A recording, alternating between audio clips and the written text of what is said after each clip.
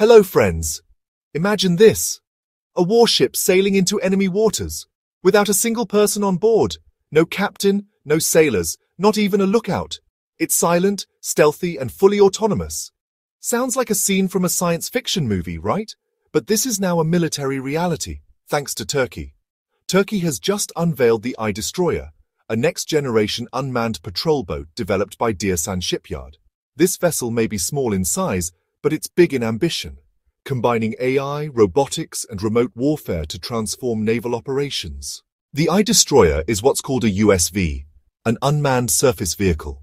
In simpler terms, it's a boat that doesn't need a human crew.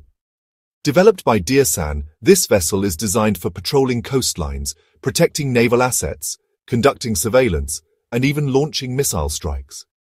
The iDestroyer is equipped with a 12.7 mm remote-controlled weapon station, electro-optical and infrared sensors, and advanced radar systems.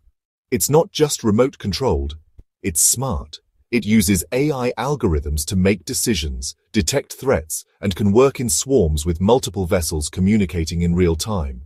The vessel can reach speeds of over 40 knots, stay operational at sea for up to four days, and be upgraded with missiles or mine-hunting equipment. Why is Turkey investing in this technology?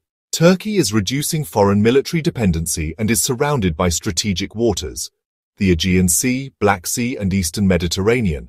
By deploying unmanned vessels like the iDestroyer, Turkey can project power more safely, avoid risking human lives, and respond faster to threats. This isn't just regional.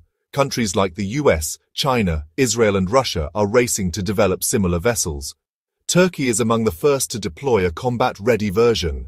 This could trigger an unmanned arms race where navies build robotic fleets that patrol seas and launch attacks without endangering human soldiers. The iDestroyer is more than just a patrol boat. It's a symbol of how fast warfare is evolving.